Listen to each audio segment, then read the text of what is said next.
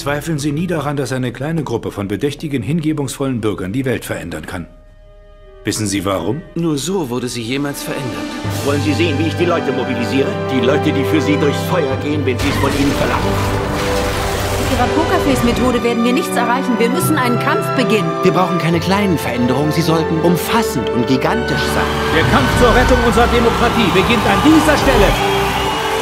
Jedes Mal, wenn wir denken, wir haben unsere Fähigkeiten so bemessen, dass wir einer Herausforderung begegnen können, stellen wir fest, dass diese Fähigkeit keine Grenzen kennen darf. Auch wenn diese Aufgabe unsere letzte ist. Eine Regierung sollte Optimismus verbreiten. Ich würde so gerne jemanden finden auf dieser Welt, den ich nicht hasse. Das ist das Weiße Haus. Sie werden sich dran gewöhnen.